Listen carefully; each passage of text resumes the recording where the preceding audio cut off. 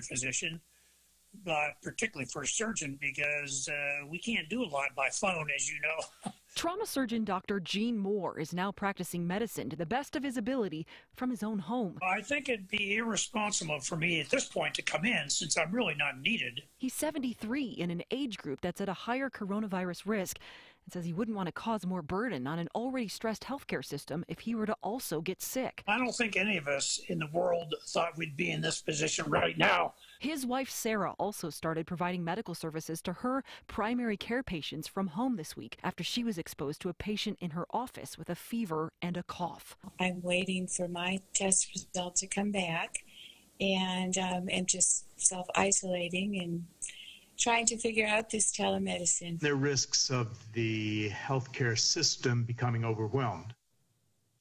And as such, uh, I thought, well, do they need uh, more medical help? 74 year old retired doctor Bill Shaw says he felt compelled to help when news of the coronavirus hit. On Friday, the governor called upon retired doctors and nurses to step up if needed. Having uh, not had a hospital patient for a long time, I'm not going to be of any use in the ICU.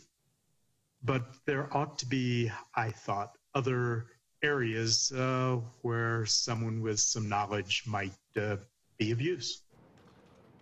Now, the state says it hopes to soon have answers to questions from people like Dr. Shaw, who still has a medical license but no liability insurance, about where and how they might be the most useful. Meanwhile, Dr. Moore is still very busy, says he's also working on research for alternative treatments to combat symptoms related to coronavirus in case this reaches a crisis level. I'm Lori Jane Gliha, Fox 31. All right, Lori Jane, thanks.